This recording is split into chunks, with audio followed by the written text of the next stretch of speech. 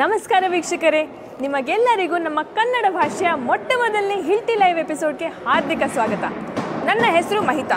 ನಾನು ನಿಮ್ಮ ಹಿಲ್ಟಿ digital account manager ಈ ಹಿಲ್ಟಿ ಲೈವ್ ಅಂದರೆ ಏನು ಅಂತ ಯೋಚನೆ ಮಾಡ್ತಾ ಇದ್ರಾ ಇಲ್ಲಿ ನಾವು ಹಿಲ್ಟಿಯ ಹಾರ್ಡ್ವೇರ್ ಸಾಫ್ಟ್ವೇರ್ ಮತ್ತು ಸರ್ವಿಸಸ್ಗೆ ಸಂಬಂಧಪಟ್ಟ ವಿಶ್ವ ದರ್ಜೆಯ ಪರಿಹಾರಗಳನ್ನು ನಿಮ್ಮ ಮುಂದೆ ಡಿಜಿಟಲಿ ಪ್ರಸ್ತುತ ಮಾಡ್ತೀವಿ.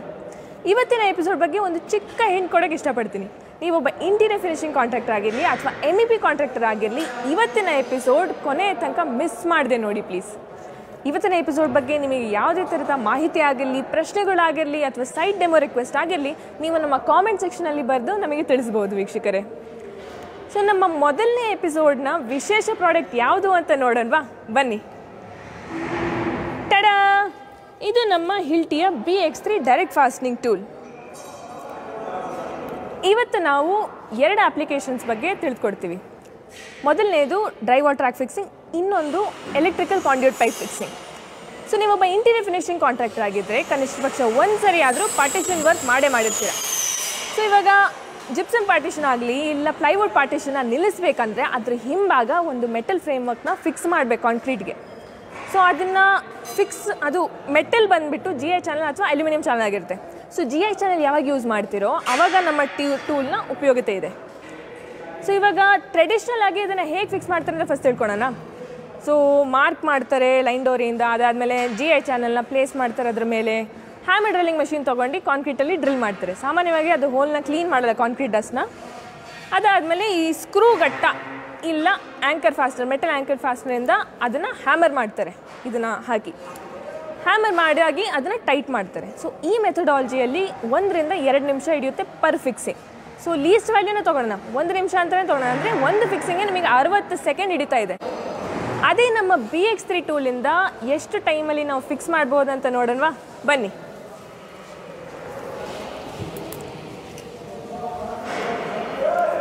ಸೊ ನಾನಿವಾಗ ಫಿಕ್ಸ್ ಮಾಡಬೇಕಂದ್ರೆ ಎಷ್ಟು ಟೈಮ್ ಹಿಡಿಯುತ್ತೆ ಅಂತ ನೀವೇ ವಿಡಿಯೋದಲ್ಲಿ ನೋಟ್ ಮಾಡ್ಕೊಬೋದು ವೀಕ್ಷಕರೇ. ಓಕೆನಾ ಟೂಲ್ ಸ್ಟಾರ್ಟ್ ಮಾಡ್ತಾ ಇದ್ದೀನಿ.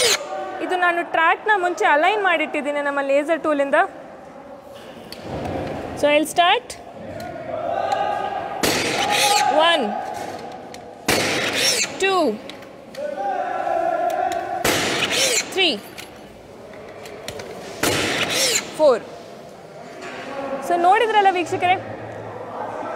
ಸೈಟಲ್ಲಿ ನಮಗೆ ಅಂದಾಜಾಗಿ ನಾಲ್ಕು ಸೆಕೆಂಡ್ ಹಿಡಿಯುತ್ತೆ ಪರ್ ಫಿಕ್ಸಿಂಗ್. ಸೊ ಇದನ್ನು ನಾವು ಟ್ರೆಡಿಷ್ನಲ್ ಮೆಥಡಿಗೆ ಕಂಪೇರ್ ಮಾಡಿದರೆ ಅಲ್ಲಿ ಅರವತ್ತು ಸೆಕೆಂಡ್ ಹಿಡಿತಾ ಇದೆ. ಸೊ ಇವಾಗ ನಮ್ಮ ಟಿಪಿಕಲ್ ಒಂದು ಫ್ಲೋರ್ ತೊಗೊಳೋಣ. ಹತ್ತು ಸಾವಿರ running feet drywall partition work ಇದೆ ಅಂತ ಅಂದ್ಕೊಳ್ಳಿ ಸೊ ಹತ್ತು ಸಾವಿರ ಫಿಕ್ಸಿಂಗ್ಸ್ಗೆ ಟ್ರೆಡಿಷನಲ್ ಮೆಥಡಿಂದ ನೀವು ಇಪ್ಪತ್ತು ದಿವಸ ತೊಗೊಳ್ತೀರಿ ಅದನ್ನು ಫ್ರೇಮ್ ಫಿಕ್ಸ್ ಮಾಡೋಕ್ಕೆ ಮಾತ್ರ.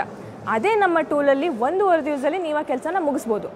It means we are fifteen times faster ಅದರಲ್ಲಿ ನಿಮಗೆ ವರ್ಕರ್ ಕಾಸ್ಟು ಎಷ್ಟು ಉಳಿತಾಯ ಇದೆ? ಆಮೇಲೆ ನಿಮ್ಮ over all project completion time ಎಷ್ಟು ಕಡಿಮೆ ಆಗುತ್ತೆ ಅಂತ ಯೋಚನೆ ಮಾಡಿ ನೋಡಿ ವೀಕ್ಷಕರೇ. ಇವಾಗ ನಾವು ನಮ್ಮ ಎರಡನೇ ಅಪ್ಲಿಕೇಶನ್ ಎಲೆಕ್ಟ್ರಿಕಲ್ ಕಾಂಡ್ಯೂಟ್ ಪೈಪ್ ಫಿಕ್ಸಿಂಗ್ಗೆ ಮೂವ್ ಆಗೋಣ. ಬನ್ನಿ. ಸೊ ಡೆಮನ್ಸ್ಟ್ರೇಷನ್ಗೂ ಮುನ್ನ ಫಸ್ಟ್ ನಾವು ತಿಳ್ಕೊಳ್ಳೋಣ. ಇದು ಟ್ರೆಡಿಷ್ನಲ್ ಆಗಿ ಹೇಗೆ ಫಿಕ್ಸ್ ಮಾಡ್ತಾರೆ ಅಂತ.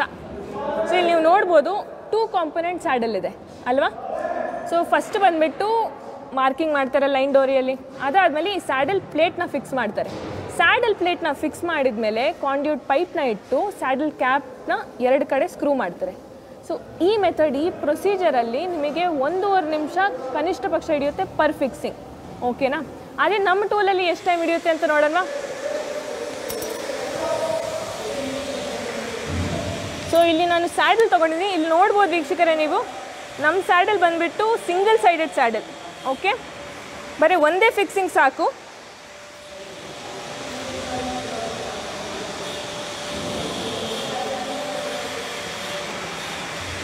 ಇದರಲ್ಲೂ ನೀವು ಟೈಮ್ ನೋಟ್ ಮಾಡ್ಕೊಬೋದು ವೀಕ್ಷಕರೇ. So I will start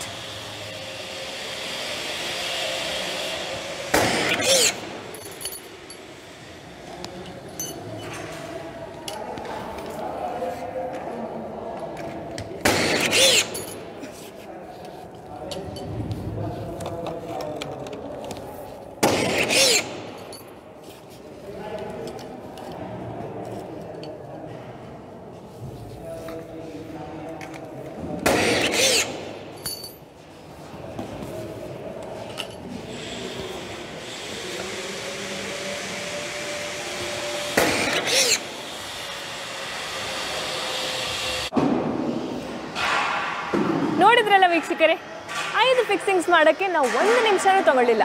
so ಈ ಅಪ್ಲಿಕೇಶನಲ್ಲೂ ನಿಮ್ಮ ವರ್ಕರ್ ಕಾಸ್ಟ್ ಆಗಲಿ, ನಿಮ್ಮ ಪ್ರಾಜೆಕ್ಟ್ ಕಂಪ್ಲೀಷನ್ ಟೈಮ್ ಆಗಲಿ, ಆಮೇಲೆ ನಿಮ್ಮ ಓವರ್ ಆಲ್ ಪ್ರೊಡಕ್ಟಿವಿಟಿ ಮೇಲೆ ಎಷ್ಟು ಪಾಸಿಟಿವ್ ಆಗಿ ಇಂಪ್ಯಾಕ್ಟ್ ಮಾಡ್ತಾ ಇದೆ ಈ ಟೂಲ್ ಅಂತ ನೀವು ನೋಡ್ಬೋದು, ಅಲ್ವಾ? ಸೊ ಇದಕ್ಕೂ ಹೆಚ್ಚಾಗಿ ನಮ್ಮ ಮೇಜರ್ ಅಡ್ವಾಂಟೇಜಸ್ ಏನಂದರೆ, ಇದು ನಮ್ಮ ಕಂಪ್ಲೀಟ್ಲಿ ಕಾರ್ಡ್ಲೆಸ್ ಸಿಸ್ಟಮ್ ಸೈಟ್ಸಲ್ಲಿ ನೀವು ನೋಡಿದರೆ ಮೂವತ್ತು ಮೀಟರ್ ಗಟ್ಟಲೆ ವೈರ್ಸ್ ಯೂಸ್ ಮಾಡ್ತಾರೆ. ಅದು ಒಂದು ಮೇಜರ್ ಸೇಫ್ಟಿ ಕನ್ಸರ್ನ್ ವರ್ಕರ್ಸಿಗೆ ಅಲ್ವಾ? ಈ ಟೂಲಿಂದ ನೀವು ಆ ಸೇಫ್ಟಿ ಫೀಚರ್ನ ಪ್ರೊವೈಡ್ ಮಾಡ್ತೀರಾ. ಇನ್ನು ನೀವು ಹೈಟ್ಸಲ್ಲಿ ಎಲ್ಲ ಕೆಲಸ ಮಾಡ್ತಾ ಇದ್ದರೆ ಸೊ ಈ ಟೂಲಿಂದ ನೀವು ಈಸಿಯಾಗಿ ಆಕ್ಸೆಸ್ ಮಾಡ್ಬೋದು. ಅದನ್ನು ಆಮೇಲೆ ನೀವು ಈಸಿಯಾಗಿ ನಿಮ್ಮ ಕೆಲಸನ ಮುಗಿಸ್ಬೋದು. ನೆಕ್ಸ್ಟ್ ಬಂದ್ಬಿಟ್ಟು ನಮ್ಮ ಕಂಪ್ಲೀಟ್ಲಿ ಡಸ್ಟ್ಲೆಸ್ ಸಿಸ್ಟಮ್ ಇದು. ಸೊ ಸಿಲಿಕಾ ಡಸ್ಟಿಂದ ಆಗೋ ಹೆಲ್ತ್ ಹಜಾರ್ಡ್ಸ್ನ ನೀವು ಅವಾಯ್ಡ್ ಮಾಡ್ಬೋದು. ಆಮೇಲೆ ನೀವು ಓವರ್ ಆಲ್ ಸೈಟ್ ಸೇಫ್ಟಿನ ಇನ್ಕ್ರೀಸ್ ಮಾಡ್ಬೋದು. ಓಕೆನಾ ನೆಕ್ಸ್ಟ್ ಬಂದುಬಿಟ್ಟು ನಮ್ಮ ಟೂ ಒನ್ ತ್ರೀ ಸರ್ವಿಸಿಂಗ್ ಅಂದರೆ two year no repair cost servicing ಅಂತ ನಾವು ಆಫರ್ ಮಾಡ್ತೀವಿ. ನಮ್ಮ ಎಲ್ಲ ಕಾರ್ಡ್ಲೆಸ್ ಟೂಲ್ ಮೇಲೂ. ಇದು ಎಲ್ಲದ್ರ ಬಗ್ಗೆನೂ ನೀವು ಹೆಚ್ಚಾಗಿ ತಿಳ್ಕೊಬೋದು. ದಯವಿಟ್ಟು ನಮ್ಮ ಕಾಮೆಂಟ್ ಸೆಕ್ಷನಲ್ಲಿ ತಿಳಿಸಿ ವೀಕ್ಷಕರೇ, ನಿಮಗೆ ಯಾವುದೇ ಥರದ ಮಾಹಿತಿ ಇಲ್ಲ ಡೌಟ್ ಆಗಿರಲಿ ಇದ್ದರೆ ಓಕೆನಾ ಇನ್ನು ಈ ಟೂಲ್ ಬಗ್ಗೆ ಕೆಲವು ಫೀಚರ್ಸ್ ನಾನು ಹೇಳೋಕ್ಕೆ ಇಷ್ಟಪಡ್ತೀನಿ. ಸೊ ಇದ್ರ ವೆಯ್ಟ್ ಬಂದುಬಿಟ್ಟು three point three K G so light ವೆಯ್ಟಾಗೇ ಇದೆ. ನೆಕ್ಸ್ಟು ಇದು ರೀಚಾರ್ಜಬಲ್ ಬ್ಯಾಟ್ರಿ ನಾನು ಇವಾಗ ತೊಗೊಂಡಿರೋದು twenty two volt five point two ampere battery platform ಇದು. ಬಹಳನೇ ಪವರ್ಫುಲ್ ಇನ್ನು ನೀವು ಇಲ್ಲಿ ಚಾರ್ಜ್ ಸ್ಟೇಟಸ್ ನೋಡ್ಬೋದು ಟೂಲ್ದು ಓಕೆನಾ ಇಲ್ಲಿ ನಮ್ಮದು ನೇಲ್ ಮ್ಯಾಗಝೀನ್ ಇದೆ. ಸೊ ಥರ್ಟಿ ನೇಲ್ಸ್ ತನಕ ನಾನು ಫಿಟ್ ಮಾಡ್ಬೋದು.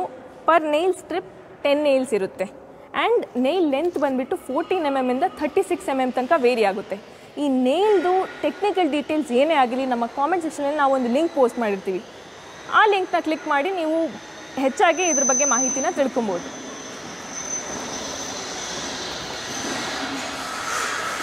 ಸೊ ಪರ್ ಚಾರ್ಜ್ ನಿಮಗೆ ಏಯ್ಟ್ ಹಂಡ್ರೆಡ್ ಫಿಕ್ಸಿಂಗ್ಸ್ ತನಕ ಬರುತ್ತೆ. ಪರ್ ಟೂಲ್ ಅಂದರೆ ಟೂಲ್ ಲೈಫ್ ಅಂತಲೂ ಹೇಳ್ಬೋದು. ಒಂದು ಲಕ್ಷ ಫಿಕ್ಸಿಂಗ್ಸ್ ತನಕ ನೀವು ಮಾಡ್ಬೋದು. ಓಕೆನಾ ಸೊ ಇವತ್ತು ನಮ್ಮ ವಿಡಿಯೋ ಇಲ್ಲಿ ತನಕ ನೋಡಿದ್ದಕ್ಕೆ ತುಂಬಾ ಧನ್ಯವಾದಗಳು ವೀಕ್ಷಕರೇ. ನಿಮಗೆ ನಾವು ಮಾಡಿರೋ ಎಫರ್ಟ್ ಇಷ್ಟ ಆಗಿದೆ ಅಂತ ಆಸೆ ಪಡ್ತೀನಿ. ಆನ್ ಫೀಲ್ಡ್ ನಮ್ಮ ಕಸ್ಟಮರ್ಸ್ ಆಗಿ ನಮಗೆ ಎಷ್ಟು ಪ್ರೀತಿ ತೋರಿಸ್ತಿರೋ, ಎಷ್ಟು ಪ್ರೋತ್ಸಾಹ ಮಾಡ್ತಿರೋ, ಅದೇ ಥರ ನಮ್ಮ ವರ್ಚುವಲ್ ಲೋಕದಲ್ಲೂ ನಮಗೆ ಅಷ್ಟೇ ಪ್ರೀತಿ ತೋರಿಸ್ತೀರಾ, ಅಷ್ಟೇ ಪ್ರೋತ್ಸಾಹ ಮಾಡ್ತೀರಾ ಅಂತ ಅಂದ್ಕೊಂಡಿದ್ದೀನಿ ಈ ವಿಡಿಯೋ ನಿಮಗೆ ಇಷ್ಟ ಆಗಿದ್ರೆ ದಯವಿಟ್ಟು ಇದಕ್ಕೆ ಲೈಕ್ ಮಾಡಿ, ಇದನ್ನು ಶೇರ್ ಮಾಡಿ, ಇದ್ರ ಮೇಲೆ ಕಾಮೆಂಟ್ ಮಾಡಿ, ನಿಮ್ಮ ಅಭಿಪ್ರಾಯಗಳನ್ನು ತಿಳಿಸಿ. ನಿಮಗೆ ಇದೇ ಥರ ಬೇರೆ ಯಾವುದೇ ಪ್ರಾಡಕ್ಟ್ ಬಗ್ಗೆ ನಾವು ಕನ್ನಡದಲ್ಲಿ ವಿಡಿಯೋ ಮಾಡಬೇಕು ರಿಲೀಸ್ ಮಾಡಬೇಕು ಅಂದರೆ ದಯವಿಟ್ಟು ಕನ್ನಡ ಅಂತ ಟೈಪ್ ಮಾಡಿ ವೀಕ್ಷಕರೇ ಕಾಮೆಂಟ್ ಸೆಕ್ಷನಲ್ಲಿ ಮತ್ತೊಮ್ಮೆ ತುಂಬಾ ಧನ್ಯವಾದಗಳು ನಮ್ಮ ಎಪಿಸೋಡ್ನ ನೋಡಿದ್ದಕ್ಕೆ ವೀಕ್ಷಕರೇ. Bye bye.